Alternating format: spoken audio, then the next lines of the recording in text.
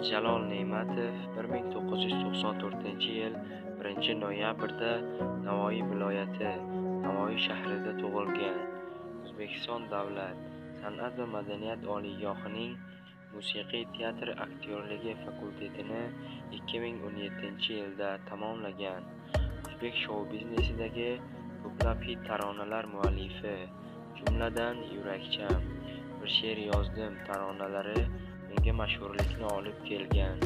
Hozirgi kunda Toshkent shahrida yashab, ijodini davom ettirmoqda.